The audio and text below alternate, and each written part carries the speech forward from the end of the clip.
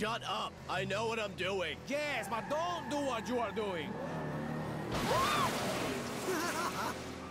Are you crazy? This car is worth one quarter of one million dollars. Well, was. And did you ever think maybe your fleet of priceless cars is the reason you're fighting off a rebellion? I'm fighting the rebels because that is what we do. My father fought the rebels. His father fought the rebels. So, like a family business. That manufactures oppression. well, and cocaine. In fact,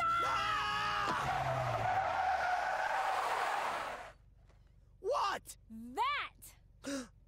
I mean, if you think we have time.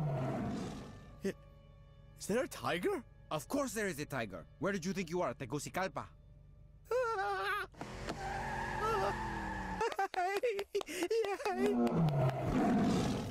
Ah, they should have sent a poet. Oh, and some meat. Do, do we have any meat?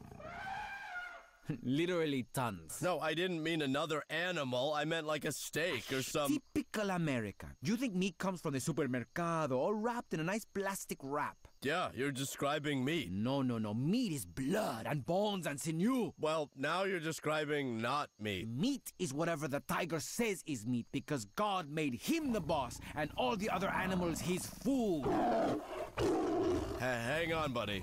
And thank you, George Orwell, for that clunky analogy in defense of totalitarianism, but I'm not feeding Shane an elephant. Who the hell is. Oh my god, he's totally a Shane. So let me bounce this off you guys. Made in Georgia.